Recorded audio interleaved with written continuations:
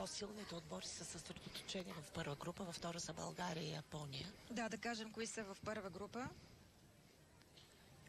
Това са Штатите, Словения, Украина, Финландия, Австралия, Беларус, Русия и Италия. Но тук да отбележи, че Русия не е с първия си титулярния състав, а с сборния е с втория си ансамбъл. Нищо ново. Това го правят вече за трета поредна година. Абсолютно вярно. Но пък за нас ще бъде една проверка, така че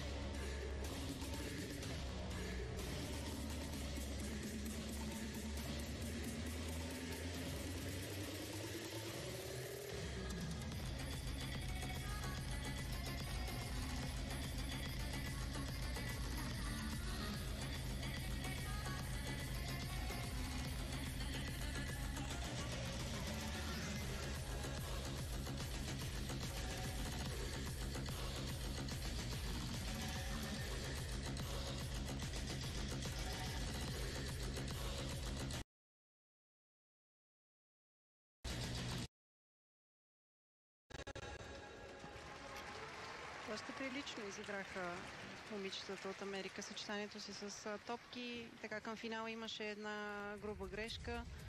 Но имайте на предвид, че този сезон и през цялата година ще наблюдаваме едни много силни ансамбли и индивидуални гимнастички, тъй като повечето ще се борят за квоти на световното първенство за Олимпиадата. Да, ние спечелихме